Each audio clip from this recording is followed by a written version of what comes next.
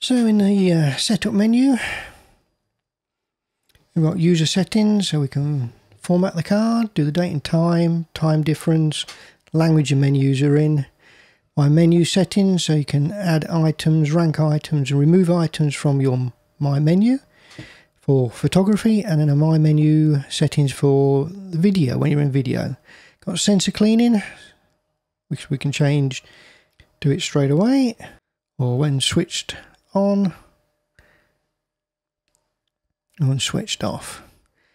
Sound and flash on or off. If you turn it off, um, then the flash won't work and all sounds are muted.